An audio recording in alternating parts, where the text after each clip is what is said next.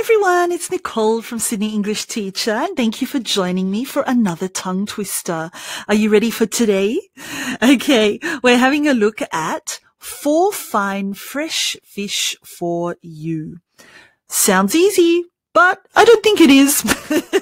we're practicing the f, the F sound. Let's do it. Four fine fresh fish for you. Four fine fresh fish for you. Four fine fresh fish for you. Four fine fresh fish for you. You try it.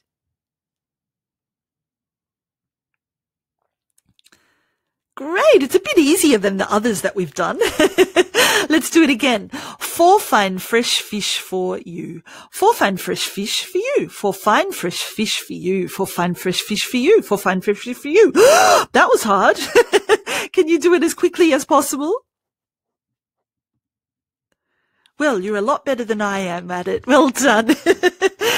anyway, that's our tongue twister for today. Thank you so much for listening and stay tuned for another tongue twister coming again really soon.